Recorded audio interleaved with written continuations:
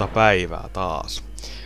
Olepas tästä sitten suoraan The Regicide, tai jotain, kumminkin neljäs tehtävä. Necropolis-kampanja, jossa me jahdataan tätä Zairesia, joka raukkamaisesti äsken lähti karkuun. Meillä on jo Puppet Master, joka saatiin äsken viimeisessä kentässä, joten sitä ei tässä tarvita, joten litsit... No joo, litsit.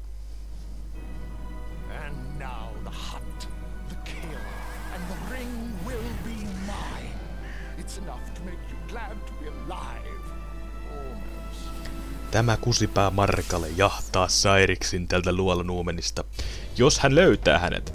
Mutta kumminkin kyseessä on siis jahtaustehtävä, jota linnaa ei tarvita tai saada tässä kentässä muutenkaan. Aha, siinä on kuva vartija eessä, no. Jaa, mulla on tämmönen armeija alkuun. Harmi kun mä en pystynyt opettaa tälle tota Phantom Forcesia. Kuuluu eri taika kirjoihin ryhmään, joten minä en sitä pysty ikävä kyllä hänelle opettamaan sitä. Olisi muuten erittäin hyvä taika opetella, mutta ei voida, niin minkäs teet, joten keskitytään tappotaikoihin ja Undead Masteriin, eli kaikenlaisiin tämmöisiin henkiherätystaikoihin ja kaikki, joka tekee pahaa toisille. Pitäis vaan saada upittua noin 900 skeletonia mieluummin skeleton artsereiksi, jotta saataisiin sitten lähelle tuhat skeleton artseria meidän joukkoon. Mut no, tavallisesti skeleton ei niinkään juuri tee mitään. Mutta tässä saadaan magi, nähdään vähän paikkaa, eli tulos litsei meille. Niillä kyllä tehdään aika paljon, koska armeijan kasvatus tässä olisi hyvä juttu. Neljä titaania on... Bleh. Ei nyt mitään saa aikaiseksi. Paitsi jos niillä on tietysti yksi vuoro ennen sitä. Ai! Ei noin saa tehdä.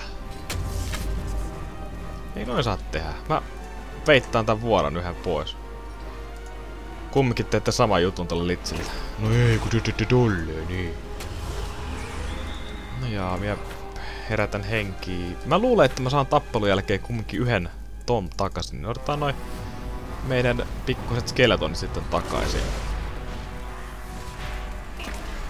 Jees. Veitti, veitti, veitti. Ja sitten sinä Margali saat herättää ne henkiin. Ja tapappa noin. Siinä, saat koston. Hyvä ne heräs henki. Ei menetty yhtään mitään äskeisestä tappelusta. Hyvä näin. Sieltä saa lisää skeletoneja. Sairissin patskiainen läks häntä koipiosan välissä juoksemaan viimeisessä kentässä, niin meidän pitää jahdata hänet ja tappaa kenti, jos pystytään, koska hän, hänellä sattuu olemaan se surmus keskimmäisessä keskarissaan ja koitetaan ottaa kovasti ja kuumeisesti irti sitä tämän kädestä. Onpas näitä paljon. Milläkään mä saisin vähän tehtyä tuhoja. Katsotaan. Mä en pysty mitään eh, normaalia taikanoja heittämään, koska ne on mekaanisia yksiköitä ja sehän tarkoittaa sitä, että niihin ei manipuloivat taijat niin sanotusti tehoa. Tehdään Divine Strength kumminkin meidän, meidän skeleton... Mitä nää onkaan? Skeleton ja niin saadaan sitten maksimi damage tehtyä niillä, jos me pääsee ikinä hyökkäämään. Vähän epäilen, että ei pääse, koska toi meidän... Meidän pikku Bone Dragoni tuolla tekee tuhojansa yksinään ja... Se on vähän ikävän tehokas. Mutta tota, jos pitäisi alkaa strategiaa spekuloimaan tässä kentässä, niin mä vähän suosittelen semmoista, että totta kai kun Undetteen pelataan, niin kaikki mahdolliset neutraaliyksiköt, mitä sä kartalla näet, niin totta kai kannattaa hyökätä niihin, ellei kyseessä ole mikään aivan älytön tappelu, niin kuin jotain miljoonaa titani vastaan, joka ei varmaan kuulosta miltään hyvältä, mutta siis suosittelen sen ihan, ihan kylmästi vaan tappua niin paljon custom-yksiköitä kun sielu sietää. Mennäs tappaa noin pois tuolta. Odotetaan veitti ihan hetkiseksi. Siellä voit kyllä hyökätä herätäpä henkiä vaan nuo meidän aina niin rakkaat skeletonit, koska he eivät ilman avustusta sitä voi tehdä. Noin. Ja noin meidän Bone Dragonit sitten syöteen pään irti ja peli on meidän. Naps, naps, naps. Hyvää lihaa.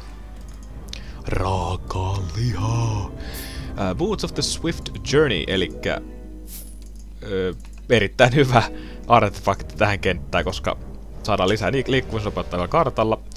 Ja sitähän me tässä juuri tarvitaan. Mahdollisimman paljon liikkumisnopeutta, että voidaan sitten saada sen perseisesti mennä kiinni. Öö, litsit bonuksena oli hyvä tuossa alkuun, koska kuten nyt näitte, mä sain just äsken öö, lisää litsejä, niin mulla on jo semmonen pieni pesämuna täällä omassa armeijassa valmiina kentän alussa. Näin, kivasti tehdään damakea. Tehdään, voisi tehdä taas ton Divine Stringin noille skeletonille, että päästään sitten mättämään näitä 96 peräti. Toi mut sa saatat pikkuisen sattuakin jo. Hmm. Voitaisiin tietysti... No tehdään se Divine Stringin vaan sille. Mä luulen, että yksi Bone Arts... Bone Archeri. Mistäkö toikin nimi oikein sattunut päähän tulemaan?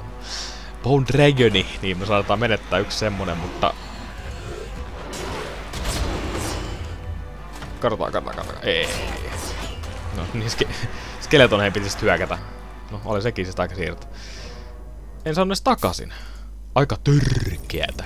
Siitä saatiin avain. Ja päästiin uusille apajille. Siellä on mageja. Näitä ei kyllä pitäisi päästää missään nimessä ampumaan, mutta pahalta näyttää, että ne pääsi. 16, eli toi ensimmäinen saa vuoro ja kuolee siihen. Okei. Okay. No, sieltä tulee varmaan taas Wist of Wrath. Joka ei ollut mikään yllätys. Ö, odotas itse asiassa Puppet Masteri vaan. Otetaan teet kokonaan haltu. Pistää Fireballi tohon sulle. Noin. Maista omaa lääkettä senkin pikkunen örkki. Mä luulen, että toi yksi Artlissi kun litsi, niin joo se henki. Hyvä. Otit siellä se? Anto Spellpowerin lisää se paikka. Öö, kumpaakohan suunta tässä ollaan nyt menossa? Tossa ainakin tankattuu täyteen noin Spellpowerit. Siis manat, anteeksi. Öö, siellä on Swordsmane. Niin paljon näitä neutraaliyksiköitä löytyy täältä kartalta, niin kannattaa hyökätä vaan. Meikin nyt koetan parhaani mukaan näitä tässä murhata. Emme mitään Puppet Masteria kyllä tähän käytä. Pidetään vaan Divine tuolle. Ja samalla sitten seuraavalla vuorolla tohon meihin skeletoneihin. Hyi, se puras. Niin, mulla on vieläkin, totta kai, mulla on vieläkin ne kaikki viime tehtävän artefaktit. Siis ne lainausmerkeissä tärkeät artefaktit, jota mä tulen tarvimaan vielä loppupeleissä. Joka on Glow of the Dead, Shadow ja Staff of the Netherworld. Ja molemmat tulee erittäin hyödyksi, etenkin näissä tavallisissa tappeluissa. Hmm. Mä varmaan saan takaisin kumminkin noin, jos mä tapan... Tai no joo, herätään henki. Paljonkohan nyt kuoli äsken? Katsotaan. Ei kuin 12. Menkö pois, menkö pois. Minä en semmoisesta pikkumäärästä välitä yhtään mitään. Tapataan noin 12 ja eikä ne herää henki muutenkin. Jep, 12 heräs henki ja 24 tuli vielä plussana siihen lisäksi, että hätiköin taas aivan turhaan. Täällä on Ring of the Broken Will. Okei. Okay. aika naurettava juttu sillä lailla, että mulla on jo semmonen artefakti, joka huonontaa vihan, vihon moraalia sekä onnea miinus kahdella. Niin nyt toi tämä sormus vielä tekisi saman kyvyn. Kiinnostavaa ja hauskaa. Pääsepä sitten leikkimään heidän kustannuksellaan. Onnen kustannuksellaan.